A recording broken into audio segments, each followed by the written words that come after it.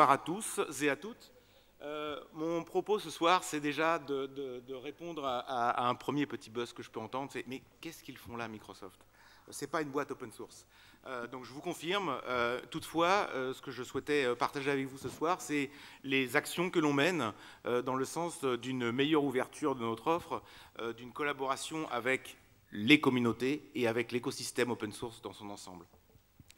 Euh, et cela, euh, c'est aussi pour quelque part euh, expliquer ou justifier notre présence pour la troisième année consécutive en tant que sponsor de l'Open World Forum. Nous en sommes très honorés et, très contents.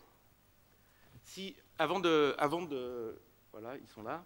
Euh, avant de, rentrer dans le vif du sujet, je voulais faire un tout petit, euh, euh, mouvement arrière, si je puis dire, et de remettre un petit peu la, perspective du marché et de l'évolution du monde tel qu'on le voit tous, autant qu'on est dans la salle. J'ai repris pour ça une, photo que j'aime bien en ce moment, qu'on aime bien en ce moment, qui est n'importe quel événement, et là on peut imaginer un concert, peut-être les Pink Floyd pour ceux qui ont les cheveux grisonnants comme moi, et, dans lesquels l'expérience c'était le briquet. Euh, et aujourd'hui, euh, l'expérience, c'est euh, les smartphones. C'est les smartphones que vous avez dans la main, dans lesquels, quelque part, on est en train de prendre des photos, de partager, de communiquer avec ses amis, de lire ses mails probablement, de collaborer. Et bref, tout ça pour dire qu'on voit une évolution dans le monde vers le cloud et vers ce fameux Internet of Things, puisqu'on prévoit en 2020, je crois, plus de 30 milliards d'objets connectés et sur lequel, globalement, notre, notre propos par rapport à ça, c'est vraiment, et notre, notre engagement, si je puis dire, c'est euh, d'évoluer vers un monde de device et services. Device, sans aucune, euh, sans aucune précision, bah, c'est tout ce qu'on a et tout ce qu'on on est en train d'inventer dans les différents, dans les différents mondes qui nous, qui nous occupent. Et service, et derrière service, c'est cloud. Donc notre stratégie, elle est clairement cloud. Chez nous, le cloud, il peut être privé, public, mélangé entre les deux, hybride, on a beaucoup parlé aujourd'hui, euh, il s'appelle Windows, Windows Azure. Euh, mais, euh, mais, globalement, par rapport à ça, vous allez me dire, où est l'open source? L'idée, c'est que le, mot-clé, si je puis dire, ou le déclencheur, c'est la vitesse. Je revenais tout à l'heure sur les aspects communication le, facteur clé aujourd'hui, c'est la vitesse, la vitesse à laquelle on va pouvoir réaliser sa première application, on parlait tout à l'heure de formation, ou sa nouvelle application, la vitesse à laquelle on va pouvoir euh, déployer sa nouvelle application euh, marketing si on a une opération à faire sur les réseaux sociaux. Bref, c'est comment, avec cette accélération d'Internet, on est capable de couvrir l'ensemble des plateformes, l'ensemble de ces devices, et d'être euh, tout market, si je puis dire, le plus rapidement possible. Donc forcément, dans ce cadre-là, bien évidemment, on peut avoir un catalogue et une offre de produits qui s'appellent les produits Microsoft, les langages Microsoft, mais il ne serait pas réaliste d'ignorer l'ensemble de l'écosystème des langages, l'ensemble de l'écosystème des plateformes qui existent. Et clairement, les actions qu'on a menées depuis la, bonne dernière dizaine d'années a été de faire des progrès dans ce sens-là, de collaborer et de travailler avec les communautés ou avec les organisations euh, euh, open source, qu'elles soient éditeurs de logiciels ou acteurs, fondations. vous avez un petit, un petit visuel là, mais qui, qui, a la, prétention de, de, résumer un petit peu le sujet, mais qui, qui illustre un petit peu la, manière dont on est capable aujourd'hui de s'engager à la fois au niveau des équipes produits, peut-être même parfois de tuer nos propres produits pour s'aligner avec un, produit ou un framework qui sort sur le marché. Je pense à Hadoop, par exemple, c'est clairement un choix qu'on a fait, qui est d'arrêter nos propres développements pour s'aligner avec ce qui était en train de d'éclore sur le marché. C'est aussi euh, des organisations spécifiques que l'on a créées, comme OpenTech, que vous voyez sur la, droite, qui est capable de, fonctionner au rythme des communautés. Euh, c'est aussi s'adapter au rythme de fonctionnement, euh, afin de pouvoir supporter l'ensemble de ces développements qui vont pouvoir permettre, dans ce cloud, justement, de certes pouvoir utiliser potentiellement des technologies Microsoft si c'est le choix qu'on en fait, mais aussi si on, a si on a ses propres compétences, ses propres investissements, ses propres développements, ses propres frameworks, de les réutiliser et de pouvoir les accélérer euh, et, de, les, faire atterrir sur le, sur le cloud. Donc si je prenais quelques mots-clés ou quelques exemples euh, rapidement, l'idée c'est à la fois de fournir les kits de développement qui permettent à quelqu'un de porter son application très rapidement, euh, à la fois sur Android, à la fois sur iOS, à la fois sur Windows Phone pour les quelques-uns qui en ont, et toujours de l'appuyer sur le cloud. Donc comment je peux à un moment donné sortir mon application le plus rapidement possible? Bah, On a besoin, on a des gens qui sont qui supportent des plateformes qui ne sont pas les nôtres. L'action qu'on a menée avec les différents acteurs concernés, c'est de faire en sorte que ces kits soient disponibles de manière à accélérer la rapidité, offrir de la productivité. C'est vrai aussi sur tous les, piles logicielles que vous pouvez trouver sur, sur le cloud que vous soyez euh, Joomla, Node.js, que vous développiez en Python, tout ça vous permet potentiellement de le faire atterrir euh, sur euh, le cloud Microsoft. Je voulais prendre un exemple, mais c'est tout à l'heure je disais comment on peut aller rapidement sur, une application. on, a, on, a, mis en place là pour, Open World Forum une application Social Cloud qui, a, qui, qui, qui, qui monitore un peu vos tweets, donc on va essayer de partager un peu les visuels autour de ça demain.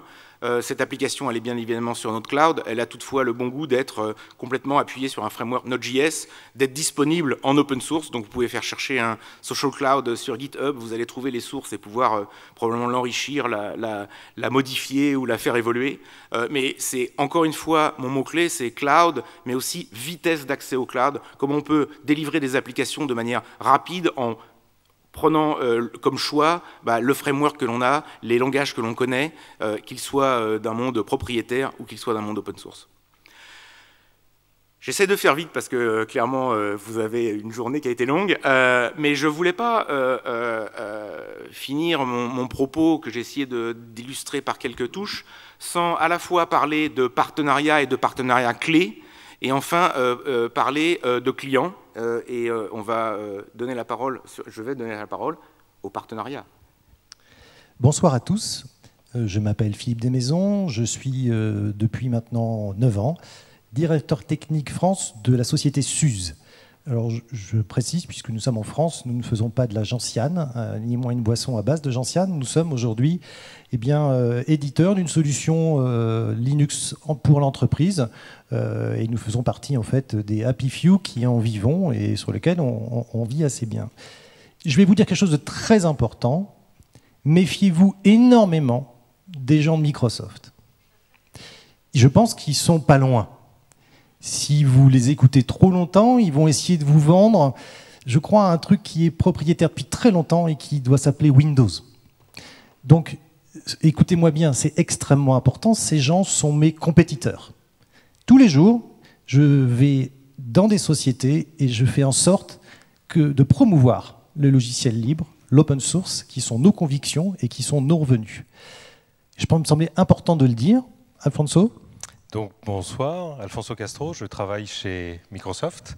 Euh, j'aurais tendance à vous alerter également sur le fait de vous méfier de ces gens-là qui sont effectivement des purs players de l'open source, ça je le dis absolument avec grand respect, mais qui ont tendance à manger à plusieurs ateliers en même temps. Euh, donc on est effectivement très, tout à fait concurrents, et là de manière tout à fait sérieuse, derrière ces plaisanteries, euh, nous allons vous parler de notre partenariat. Mais sachez que tous les jours, face aux clients, lorsqu'il s'agit de choisir entre Linux d'un côté ou Windows de l'autre, le naturel revient au galop. Vous défendez Linux et nous défendons Windows parce que nous sommes tous les deux convaincus que chacune des technologies, effectivement, a la plus grande valeur. Ceci étant dit, ce préambule étant, posé, et on le, faisait, on le, fait un peu systématiquement pour que les choses soient, très claires, ça fait sept ans que nous avons un partenariat maintenant euh, qui a démarré, euh, bah, on l'a sous les yeux, euh, le 2 novembre 2006 pour être très précis. sur quoi s'est-il basé Philippe? Alors, 2 novembre 2006, c'est le jour où je suis tombé de ma chaise. Et effectivement, le 2 novembre 2006, il a été noté une feuille de route, et sept ans après, on l'a respecté.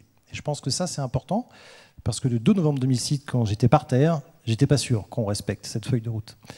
Euh, et donc, bah, vous voyez, il y a quelque, quelque chose qui peut être mis en avant dès le début, c'était le côté virtualisation. Euh, je pense que ça, c'est extrêmement important. Le fait de travailler ensemble sur la partie euh, virtu, sur la partie euh, cloud, et sur énormément d'aspects au quotidien pour tout simplement le bien de nos clients communs. Et soyons extrêmement honnêtes aussi sur le bien du, bah, de l'open source et des business de chacun aussi également. Je pense que ça, Alfonso peut le, voir au quotidien, c'est que ce sont des politiques de société l'une enfin, comme l'autre. D'ailleurs, on ne s'est pas réduit à notre simple partenariat. Euh, euh nous avons ouvert euh, aussi notre partenariat vers d'autres sociétés du monde propriétaire, parce que le pont entre les deux mondes nous semblait extrêmement important. Euh, et je pense que Alfonso peut dire la même chose de son côté. Oui, nous, on a fait nos premiers pas donc, avec des acteurs open source à l'époque. SUSE, à l'époque où elle s'appelait Novell d'ailleurs, était donc le premier partenariat de ce type. Depuis, on en a signé plein d'autres et aujourd'hui, sur différentes parties de notre offre, on a effectivement d'autres types de partenariats. Aucun, absolument aucun n'est au niveau de SUSE. C'est de loin le partenariat le plus, avec lequel nous avons l'engagement le plus fort. Et si le passé peut nous donner un peu de perspective, ce qui est intéressant, c'est le présent et le futur. Et aujourd'hui, aujourd'hui, nous continuons à collaborer. Nous, collaborons sur le plan technologique sur les deux grandes approches, on va dire, du, cloud, à la fois sur le cloud public, pour le coup, c'est le nôtre, donc sur Windows Azure, donc SLES, SUSE Linux Enterprise Server, est disponible sur, euh, sur Windows Azure. Je vais le redire parce qu'en général, il faut plusieurs, euh, plusieurs passes pour, vraiment euh, se demander si, je pas, euh, si ma langue n'a pas fourché. Vous pouvez bien faire tourner du Linux sur la plateforme de cloud public de Microsoft qui s'appelle Windows Azure. En l'occurrence, SLES et, et quelques autres. Et l'autre axe également, annoncé la semaine dernière, pardon, annoncé euh, en mai dernier, mais mise à disposition la semaine dernière. C'est SUS Cloud 2.0. Philippe va nous dire dans une seconde de quoi il s'agit. Euh, sujet sur lequel nous avons également euh, activement contribué, collaboré pardon, avec Dell d'ailleurs, également, pour sa mise sur le marché. Donc qu'est-ce que SUS Cloud 2.0 Alors SUS Cloud 2.0, c'est une implémentation évidemment d'OpenStack, puisque encore une fois, nous sommes une société qui a des, des gènes 100% open source. Euh, qui plus est d'ailleurs, qui a été marié avec un autre projet open source qui s'appelle Crowbar, euh, porté également par Dell. Et donc, euh, tel que nous le faisons dans la distribution SUSE au quotidien, de marier en fait nos présences communautaires dans un produit avec un cycle de vie pour le porter sur le marché, eh bien, nous l'avons fait dans le monde du cloud avec OpenStack et Crowbar. Chose intéressante, c'est qu'effectivement, vous savez, nos petits chouchous, hein, c'est Xen, c'est KVM, on, les aime, on les adore, on investit. Mais bon, il y a d'autres choses sur le marché, la vie est comme ça. Et euh, donc, Ils sont très très bien. disons qu'il y a certains clients qui les achètent. Mais non, non, c'est gratuit. C'est gratuit. Trêve de plaisanterie. Euh, l'idée, si vous voulez, c'est de faire en sorte qu'un client qui ait fait un choix qui n'est pas open source ben, ne soit pas enfermé dans un choix qui va faire que toutes les briques autour et tous ces choix futurs en concernant l'architecture IT restent dans ce monde propriétaire. Et donc l'idée, c'est que le pont, tout le monde peut l'emprunter dans les deux sens. Je pense que c'est important. Et donc pour conclure sur, ce partenariat, je pense que c'est important, et Dieu sait que ça a été brocardé, et Dieu sait que c'est difficile, y compris pour les clients, euh, d'expliquer ce, partenariat qui paraît euh, contre nature. Et euh, on va dire que dans, au bout de sept ans, de quoi on peut être fier? Et je pense qu'on peut être fier, et en plus je le suis fier personnellement. C'est qu'une société comme SUSE, qui s'appelait Nouvelle à l'époque, mais qui aujourd'hui se prénomme SUSE, eh bien, ce qui est extrêmement important, c'est que nous avons, nous, été l'initiateur de quelque chose de fort. Nous avons été finalement à l'origine de faire qu'une société comme Microsoft, qui est comme un des symboles du monde propriétaire, eh soit à l'origine de 30 000 lignes de code GPL comité accepté, non pas par SUSE, parce que c'est un, une communauté, par la communauté kernel.org. Et je pense que ça, c'est extrêmement emblématique de ce que nous avons fait pendant ces sept années et qu'on continue à faire. Maintenant, c'est plus dans le kernel, c'est au niveau d'OpenStack, etc. Et ça, j'en suis extrêmement fier. Et je pense que ça, ça peut être le symbole de ce qu'on est arrivé à faire. Chacun reste bien droit dans ses bottes. Nous sommes chacun avec des convictions sur la façon de faire du logiciel qui sont différentes mais on travaille ensemble pour faire en sorte qu'elles puissent collaborer. Et je pense que ça, c'est peut-être un des gènes de l'open source, la notion de collaboration. Euh, dernier point sur la collaboration avant de passer à Romain, parce que Romain représente ici la, raison d'être de ce partenariat. Euh, le partenariat, il a également une composante commerciale.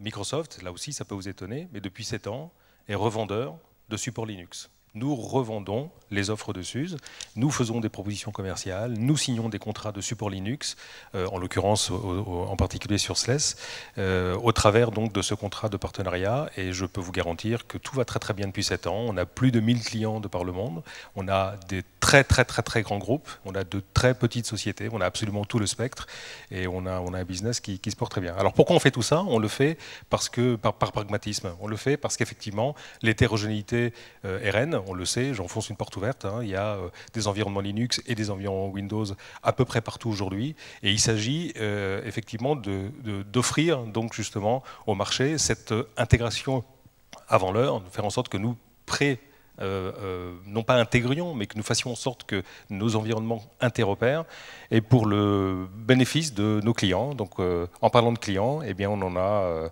on en a un aujourd'hui avec nous, auquel je vais passer la parole, Romain. Bonsoir à toutes, bonsoir à tous. Donc, je suis Romain Cagnon, président de la société Quality. Quality Cloud, c'est un, nouveau, un nouvel acteur dans le paysage du cloud français. Donc effectivement, je confirme que euh, les, euh, qu'on entendait tout à l'heure euh, sont en fait un partenariat qui est très solide. moi, je vais plutôt parler de ma problématique en tant qu'hébergeur, hébergeur public, parce que je fournis mes services en, self-service. Donc ma problématique de départ, c'est de fournir, de fluidifier au maximum, comme n'importe quel fournisseur cloud, de fluidifier au maximum les, les processus IT. Et je, passe par là pour expliquer mon choix technologique. Euh, aujourd'hui, on a besoin de fluidifier au maximum, d'orchestrer au maximum les, processus IT et de se reposer sur des, des, softs qui sont euh, simples à prendre en main. Ça a expliqué notre choix aujourd'hui. Euh, on s'est orienté vers la solution Microsoft System Center Orchestrator. Pourquoi? Parce que c'est une solution qui a été très facilement prise en main par un type de profil qu'on a dans, dans les, euh, dans les sociétés euh, d'hébergement, c'est-à-dire des profils d'administrateurs système, euh, pour qui le, développement donne presque de l'urticaire. Et ces personnes-là arrivent très facilement à développer des workflows qui sont très complexes. Et on arrive, nous, par exemple, chez Quality, pour parler de nous, à fournir des services depuis la commande jusqu'à la livraison en, en moins d'une minute pour, pour les environnements hétérogènes dans la partie Linux Ubuntu par exemple. On propose des services hétérogènes allant de la, distribution Ubuntu jusqu'à l'OS Microsoft en passant par euh, la Linux d'entreprise, donc SUSE en l'occurrence. Pourquoi on a voulu proposer aussi euh, une, distribution Linux d'entreprise, ce que j'appelle comme ça, donc supportée et dont le cycle de vie est, supporté, tout simplement pour pour attirer euh, euh, des utilisations euh, professionnelles et, pour attirer les compagnies, les, entreprises. Donc aujourd'hui, en plus de ça, on bénéficie d'une intégration parfaite des produits SUSE sur la, plateforme Microsoft parce qu'on utilise aussi de la virtualisation Hyper-V3. donc on a une, intégration parfaite des environnements open source, dit grand public, Ubuntu, euh, CentOS, etc. Et également une, euh, euh, une distribution Linux d'entreprise qui nous permet de, séduire nos clients professionnels. Super, moi j'ai envie de, terminer. Enfin, on a eu trois messages extrêmement forts ce matin, par la ministre quand même elle-même, par le responsable de, l'INRIA et par le président du Syntec sur le fait que la bataille entre l'approche propriétaire et l'approche open source était terminée. Je crois que nous, ça fait sept ans qu'on le vit. Alors au début un peu seul dans notre coin, maintenant il y a quand même beaucoup de monde autour de nous. Et voilà, Romain, euh, comme beaucoup d'autres, en profite tous les jours. On espère juste que ça va continuer, voire continuer à s'amplifier. Merci beaucoup.